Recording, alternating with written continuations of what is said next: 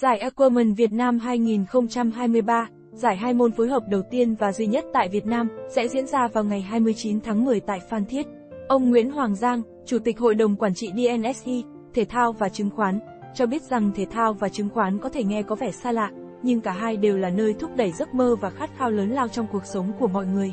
Điều này thể hiện qua giải đấu, nơi công ty chứng khoán này hy vọng tạo động lực và tinh thần nỗ lực trong cộng đồng, khuyến khích mọi người sẵn sàng vượt qua khó khăn để theo đuổi những giấc mơ của họ.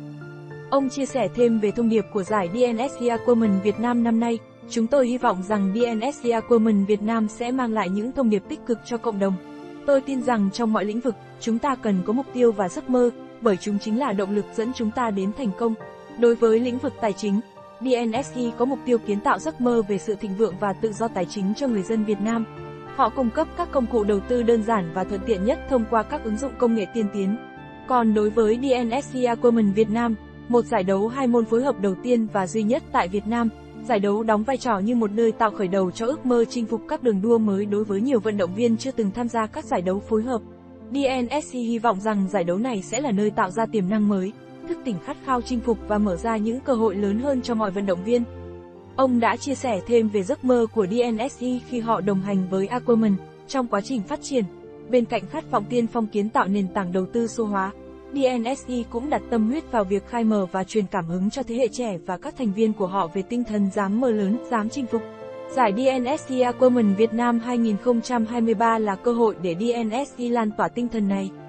Đóng góp vào hoạt động của giải, bên cạnh việc đồng hành, hỗ trợ chi phí mua vé cho các vận động viên tiên phong đăng ký sớm, chúng tôi cũng tặng miễn phí bíp tham gia giải cho nhóm trẻ em tại mái ấm thiên thần. Những em nhỏ này, mặc dù đối mặt với khó khăn, nhưng vẫn đầy nghị lực và khát khao theo đuổi thể thao. Khi tôi trải nghiệm Aquaman Việt Nam 2022 tại Trà Cổ, tôi đã ngay lập tức đăng ký tham gia.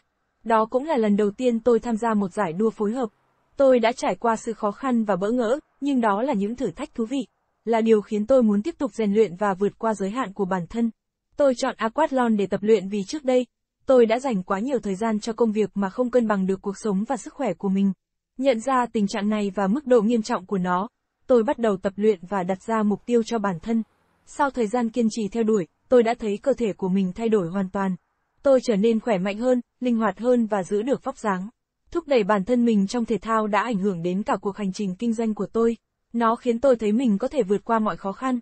Trong hoạt động của DNSE, chúng tôi luôn coi việc làm tốt hơn mỗi ngày như một tâm niệm.